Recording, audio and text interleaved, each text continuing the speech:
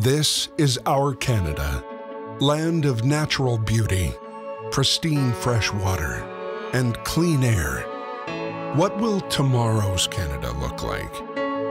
The Green Party of Canada is committed to improving the environment and making our country a better place to live.